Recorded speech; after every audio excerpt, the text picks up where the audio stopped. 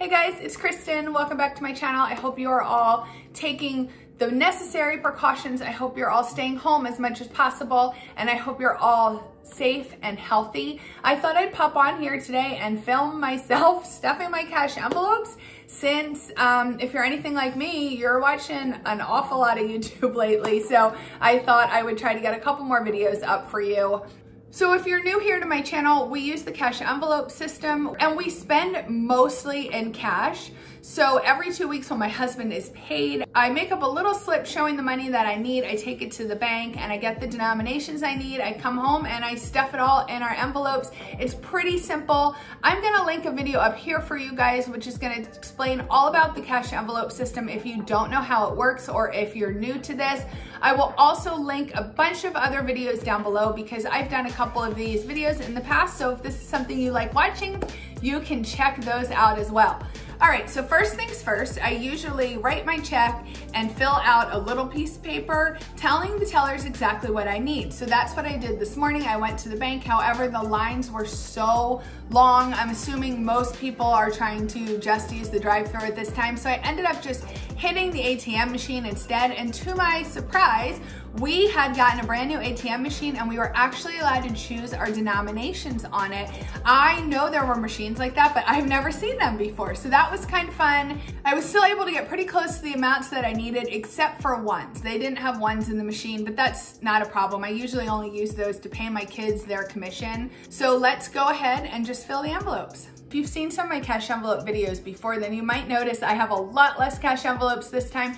That is because we have drastically reduced our budget in light of everything going on. We just wanna make sure that we are spending as little as possible and keeping as much money as possible in the bank just in case we need it. A couple days ago, I made a video all about doing a bare bones budget. You can check that one out when you're done watching this video. I'm gonna leave the link down below. And this is really going to show you how you can adjust your budget if you're struggling with money or maybe you are experiencing a loss of income right now and you really need to try and come up with as much extra money each month.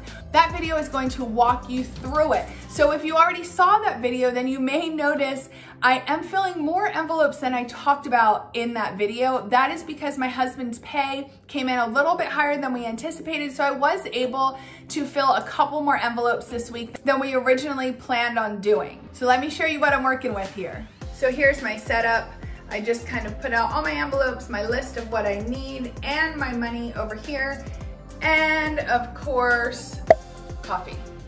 All right, guys, I'm trying to get you so that my entire head is not cut off. I don't want you to have to just look at like a talking mouth the whole time, but this seems to be the best that I can get it for right now. All I do is kind of go down my list and put the money in there. The first one I have is lunch money. I'm putting $5 in this this week. I actually don't know why. I thought I put this one down to zero.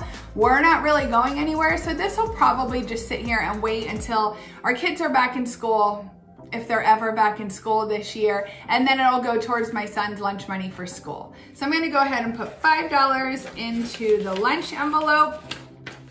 And then when I'm done, I usually mark the amount and the date here on the register, but I'm just going to put them to the side for now and I'll take care of those at the end of the video. Next is kids commissions. I'm only putting $5 in here as well. I already have a couple bucks in here.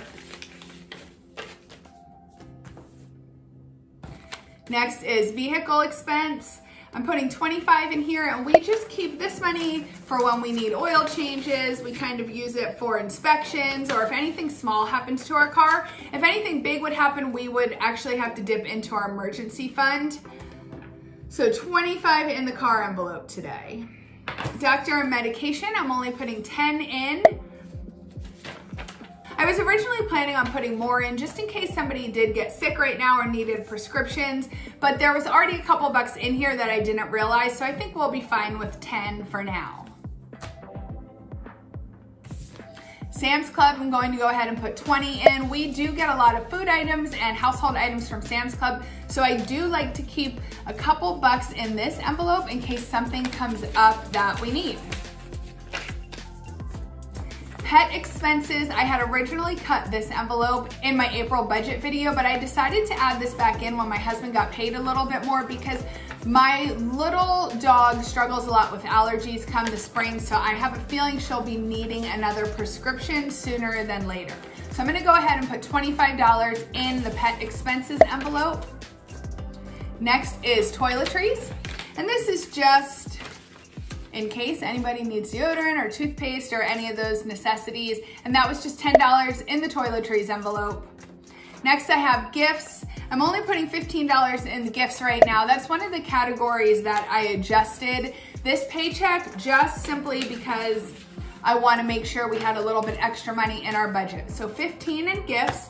And the last envelope I have for right now is kid stuff. And I'm going to put $20 in the kid stuff envelope. And that's just in case there's anything that we wanna get for our kids while we are kind of stuck here in the house. If you guys are having a hard time trying to figure out things to do for yourself while you're bored at home, I made this video last week. You can check it out. It will give you 59 ideas of things you can do when you're bored, and I will leave that link for you down below. So the last couple of expenses that I need to fill here today would be my personal money, my husband's personal money, and our spend slash miscellaneous envelope. Uh, we kind of call, call it either or. So my husband already took his personal money. He likes to take it the second that comes out, he wants his money. And we only get our personal money once a month, not once every paycheck. So he took $65 for himself and I get $60 for my personal money.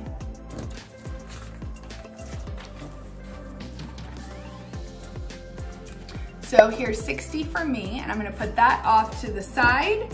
And then we have $50 that we are going to put in our miscellaneous. So that is for anything that comes up over the next two weeks that kind of doesn't fit into one of the other categories that you already saw me show.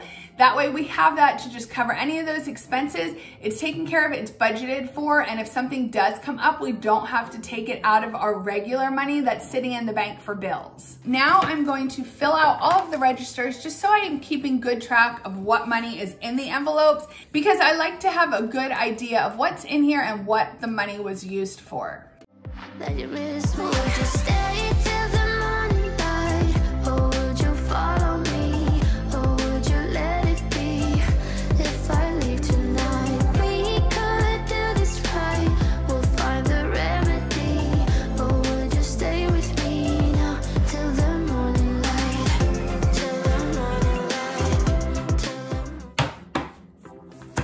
Okay, so that is our entire process of how we fill our cash envelopes.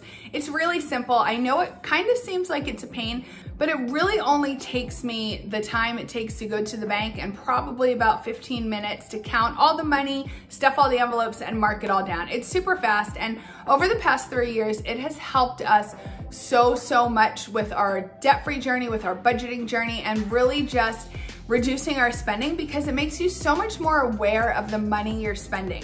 When you're just swiping a credit card or even a debit card, it's so easy to just swipe that piece of plastic and sometimes you just aren't able to keep a good mental track of how much you're really spending. That's why when you open that credit card bill, you're like, how did I spend that money? It was only a couple dollars here and a couple dollars there. But it really truly does add up. But when you're using a cash envelope, it makes it so much more tangible. You are taking the actual money out of the envelope. You're handing the actual money to the cashier and then you're writing on the envelope how much you spent and you can see that total go down, down, down. And then when the money's gone, you're done spending in that category until the time comes for you to fill up that envelope again. So I hope you guys enjoyed this. If you found any value in it, please go ahead and give it a thumbs up. Leave me a comment and let me know if you do use cash envelopes. And if you don't, what kind of method do you use? Do you use other cash spending? Do you just use your credit card? It's cool, no judgment here. This is what works for us, but I know it may not work well for a lot of other people. So one last thing, if you do like these envelopes that we use here for our family, you can grab them for yourself. I'm gonna leave the link down below. And it's just a printable template that I have available in my Etsy shop. And I just print it on colored paper because I like to have them all different colors. Have the template forever and you can print them over and over and over as often as you like. and you can print them on any kind of paper that you like. They're real easy to use. I love them. Every time they get messed up, I just print a new one. Thank you so much for watching today. I really appreciate you. I hope you'll subscribe and I hope to see you back here next time. Take care of yourself and stay healthy. Bye.